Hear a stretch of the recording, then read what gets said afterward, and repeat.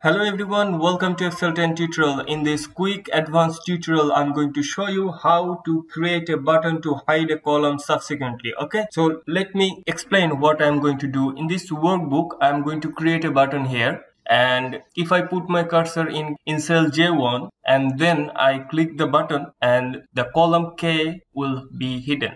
And if I click the button again, the column L will be hidden.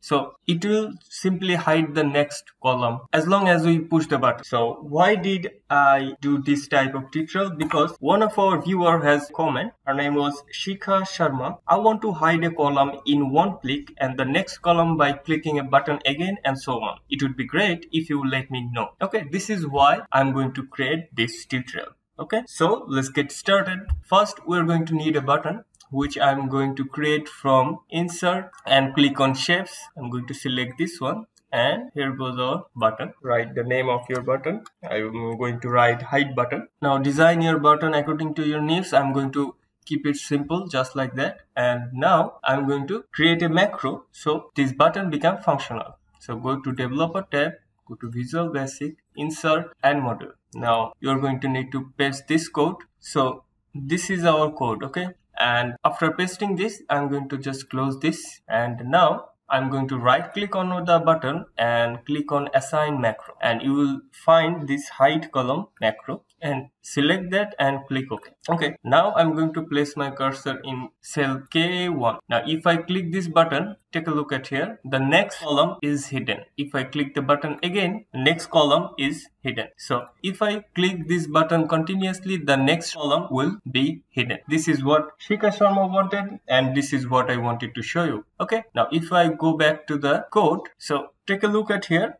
active cell offset. If I place minus here when i click on the button the previous column will be hidden okay? And if i put it just simply one the next column will be hidden. So you can change this according to your need. Thank you. Thanks for watching. And the next video i'm going to show you you are going to click a button and it is going to show all those hidden columns subsequently. Thank you. Thanks for watching. See you in the next tutorial